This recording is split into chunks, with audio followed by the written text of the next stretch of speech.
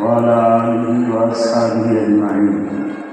عن أبي أمامة عن أبي أمامة رضي الله عنه أنه قال لا يولي النبي صلى الله عليه وسلم واليا حتى يعممه أو كما قال صلى الله عليه وسلم.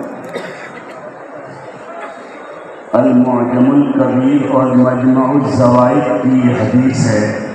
حضرت ابو امامہ باہری رضی اللہ عنہ فرماتے ہیں کہ اللہ کے نبی صلی اللہ علیہ وسلم جب کسی کو والی بناتے کسی صوبہ کا گورنر بنا کر بھیجتے ہیں، یا ایک حدیث میں ہے، کسی امیر، کسی کو لشکر کا امیر بناتے ہیں۔ تو ان کے سر پر امامہ باندھتے ہیں۔ تو یہ جو ہمارے عزیز طلبہ کرام جو اب فضولائے اعظام ہوئے ہو رہے ہیں، ان کے سروں پر یہ دستار فضیلت کے ساتھ دستار ذمہ داری بھی ہے۔ گویا کہ ان کے اساتذہ کرام اور اس مقبول، مشہور، معتبر دارالحدیث کی طرف سے ان کے سروں پر جو دستار رکھی گئی ہے، یہ دستار فضیلت بھی ہے، دستار ذمہ داری بھی ہے۔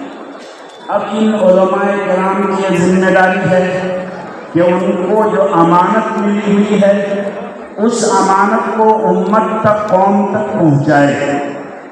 اور اس کے لیے یہ شرط ہے کہ ہماری پہلے خود اپنی اصلاح ہو تو ہی ہم اصلاح امت اور اصلاح قوم کا کام کر سکتے ہیں۔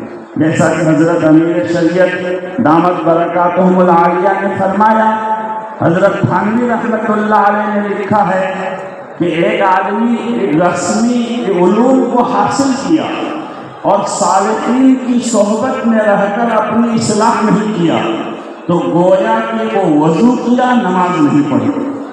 اس لیے آپ علماء کرام کی اور میری ہم سب کی یہ ذمہ داری ہے ہم اپنی اصلاح کی بھی فکر کریں اور قوم اور امت کی بھی اصلاح کی بھی فکر کریں۔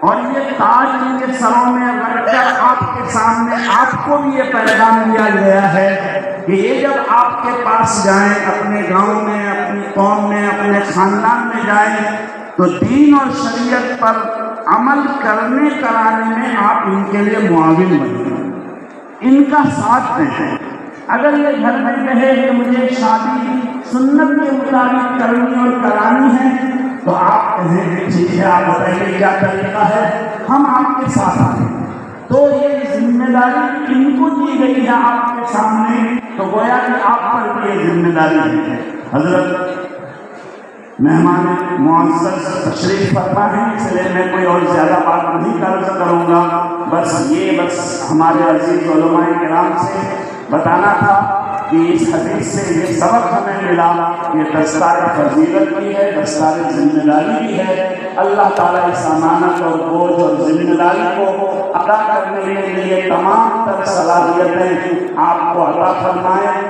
اور ہماری قوم کو بھی آپ کے تعاون کرنے کی اور اس ذمہ داری اور امانت کو ادا کرنے کے ساتھ دینے کی توفیق عطا فرمائیں وآخر دعوانا الحمدللہ رب العالمین۔